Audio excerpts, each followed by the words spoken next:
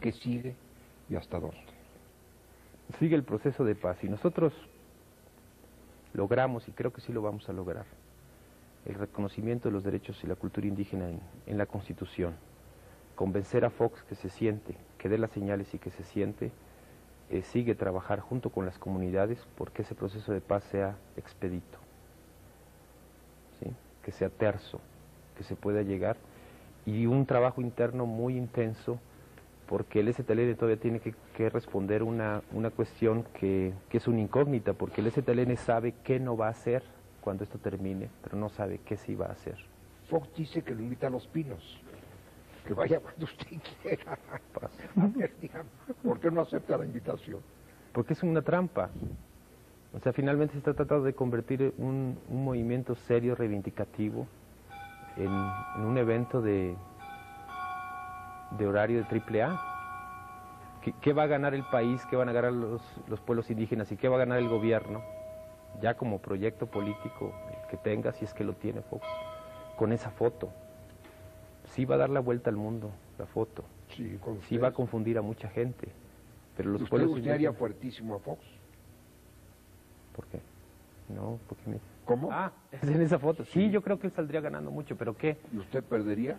No, yo no, pero las comunidades sí, porque todo el movimiento que se levantó finalmente sería trivializado. Y ahí sí mucho más trivializado que si fuera una camiseta de Marcos o que si fuera una banda de esas que atraen de Marcos Marcos.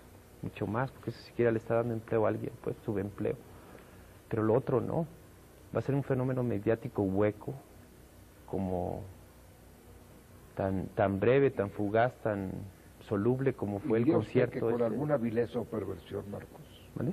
Diría usted con alguna vileza o perversión ese acto hueco. No, no le no entendí. que, usted dice que sería un acto hueco. Usted fuera para allá. Y yo le pregunto, con su dosis de vileza y perversión. Sería deshonesto, ruin, vil. Pero yo sí lo entiendo. Él está haciendo bien su trabajo. O sea, él necesita construirse esa imagen de gobernabilidad, sabe que mientras más se mencionen los medios, aunque sea para mal, su presencia se va haciendo cada vez más fuerte. Marcos, yo le digo a usted, Fox está haciendo bien su trabajo a sus ojos. A sus ojos, de él. usted? No, no, porque lo que necesita este país es un gobierno, no un locutor. Y él piensa que sí, que lo que necesita es un locutor porque le va a dar prestigio con la gente, porque lo va a conocer la gente, sí lo van a parar en la calle. ¿Pero para qué? Eso es lo que tiene que averiguar él, sin equipo de seguridad, a ver qué le van a decir, pero finalmente le van a decir, eh, nosotros que votamos por ti, o no votamos por ti, pero sí votamos en contra del PRI, no te pusimos para eso, porque una cosa es una campaña electoral y otra cosa es un programa de gobierno, ¿no?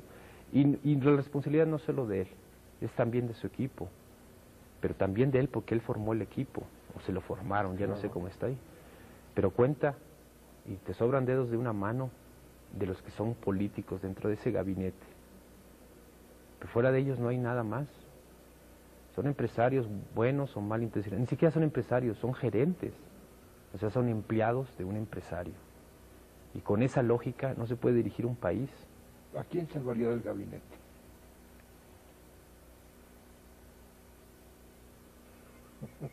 Ese que está en palabras. ¿Como escritora? ¿Eh? como escritora. ¿Eh? Como escritora, Sari Ella no escribió el libro, bueno. Ese también se corta. ¿Cómo hago pausas para que corten lo que va a censurar? No, no, pero... No, no. Falta ya. Marcos, a usted le gustan los cuentos. ¿Por qué no los cuenta uno? no los cuenta el gobierno, No, no, no, no, ¿Por qué no los cuenta uno? ¿Por qué no nos cuenta el cuento de la caravana? ¿Cómo nació la idea? El cuento de la caravana Usted escribe un cuento para que, para que, se, le, para que se conozca la cara. ¿Cómo la contaría en forma de cuento? Así en el lenguaje más, más sencillo, más cálido, lleno de humor. Y claro, Marcos, el humor se explica a través del drama. ¿Cómo contaría usted ese cuento? Bueno, supongamos que, que es en primera persona del plural. Hasta el día de hoy hasta el día. Hasta la madrugada del día. ¿Por qué no nos hacemos cuentas de que hasta su aparición en el Zócalo? Bueno, vamos a pensar así. Nosotros nos quedamos sin salidas. La única forma de, de hacernos fuerte era salir, era caminar. No teníamos ningún pie, éramos minusválidos en ese sentido.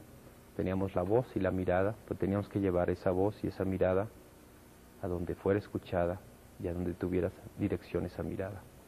Entonces tuvimos que pedir prestado los pies de otros.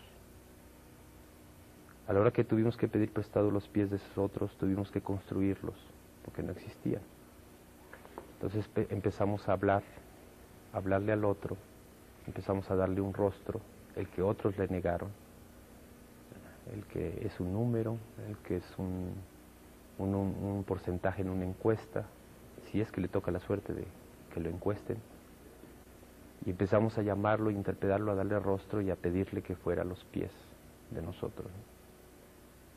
Encontramos unos pies muy disparejos, quiero decir, el cuerpo que llevábamos, la mirada y los oídos que éramos, y los labios que éramos, eran muy pequeños para unos pies muy grandes. Finalmente, cuando empezamos la marcha, empieza una especie de muñeco grotesco,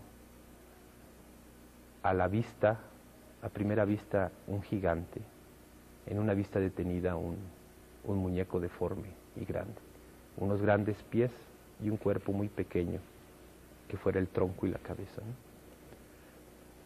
Ese muñeco grotesco empieza a andar a traspiés y empieza a tratar de, de convencer a los pies que no son suyos, que es de una u otra forma lo que ha tratado de hacer la caravana en cada momento que se detiene, de decir que no somos nosotros lo que está haciendo posible eso, sino el pie que nos está llevando hacia la gente que nos está recibiendo.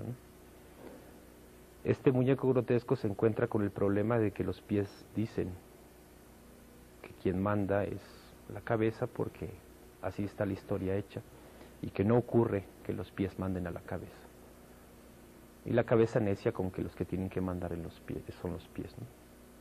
Llega un momento en que eh, los pies y la cabeza dicen lo que todos están pensando y nadie se atreve a decir, que es que en el recorrido se dan cuenta que el mundo está de cabeza, que tiene el que no necesita y el que necesita no tiene nada.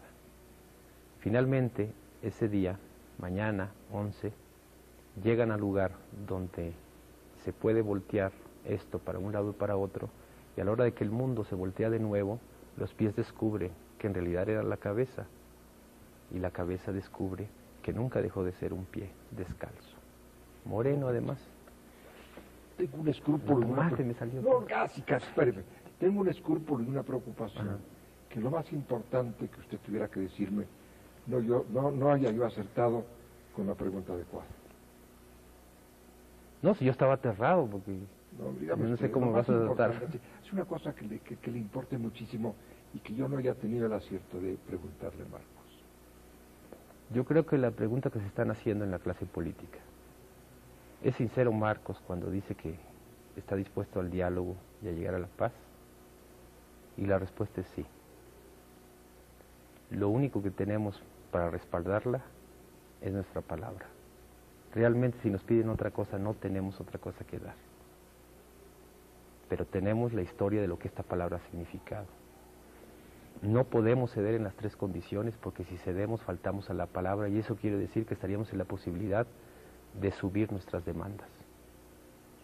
Y la garantía que tiene el gobierno de que no vamos a subir nuestras demandas es que tampoco la vamos a bajar. Que si decimos una cosa, esa es. Eso es lo que yo quisiera que entendieran.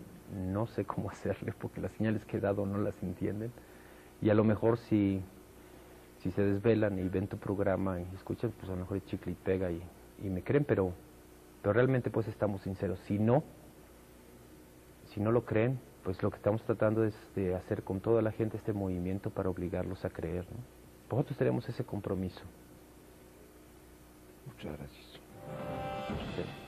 Un anuncio comercial. No tenemos dinero para regresar. El camión se acaba el 16. Dos se los Son dos, ahí van dos. Cuatro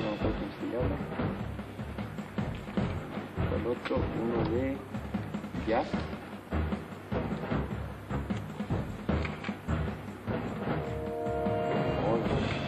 Pedro Infante. ¿Libros? Libros.